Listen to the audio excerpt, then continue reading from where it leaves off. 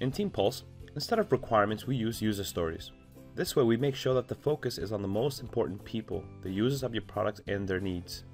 Each story is first defined by a description that captures the requirements into a simplistic form. The area supports rich text editing, thus allowing you to freely describe the goal in a specific user case scenario. You can also add attachments or links for reference that will provide additional information valuable for the requirement description. And everything is kept alongside the original requirement so you can easily find it.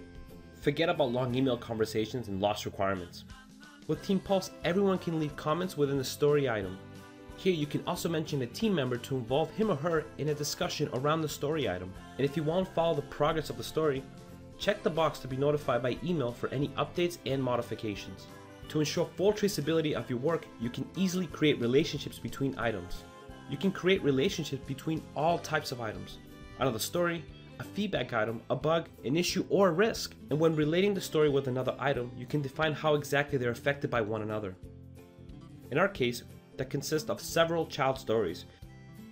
You have a long list of requirements and you need an effective way to categorize them. Team Pulse provides you with a rich list of optional properties that you can use to organize your requirements. Setting an area allows you to organize your backlog by work themes. That provides you with a deeper way to classify your requirements and how they are to be used. For example, they could reflect different modules of the software you are developing. You can also nest the areas so that every project has a different set of areas available. Tags can be used to label stories in any way that your team wants to. In the other details area, you can set the priority of the story. But if you want to be more specific, you can use the additional fields. The priority class defines how important the requirement is from the customer standpoint, while the value class defines its importance from the business perspective. Here you can quickly break stories down into tasks and assign them to different team members.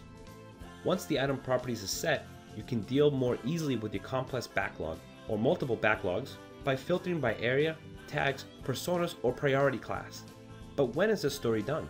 When the business criteria are satisfied, and you can capture those criteria into Team Pulse as acceptance criteria. And that way, the developer, QA, and manager have more specific expectations for the requirements. With Team Pulse, you have full traceability and quickly see where your requirements originates from, what affected its development, as well what is the impact of the changes introduced. You want to see how a requirement has evolved in time? Look at the History tab. It displays all the activities related to the story since its creation up to now. In order to meet your clients' and other stakeholders' expectations, you first need to understand their needs.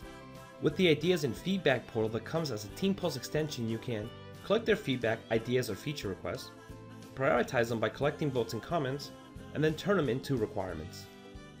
All the feedback items submitted on the portal are also visible in Team Pulse so you can relate them to a story and be able to trace them back. You can also use the portal to validate your ideas by allowing customers to vote and leave their feedback on them.